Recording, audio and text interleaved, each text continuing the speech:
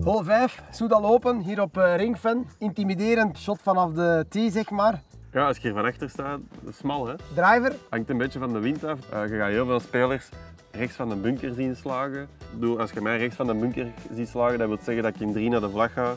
Dus dat ik met een tweede slag ga plaatsen op, op een afstand dat ik ga hebben, dat is meestal 80 meter van de vlag. En als ik mij goed voel, dan ga ik sowieso links over de bomen slagen. En dan heb je misschien nog een ijzer 5 naar de vlag. Het is niet veel wind, het is wel niet zo warm, maar ik zou eens uh, willen weten. Goed. Driver. Ik zal hem er links over slagen, speciaal voor u. Valassen. Maar nee, dat kan het toch niet. Ik raak zelfs zo hoog niet. Allee. Gewoon rechtdoor, ergens rechts van die bunker. Rechtdoor, rechts van een bunker.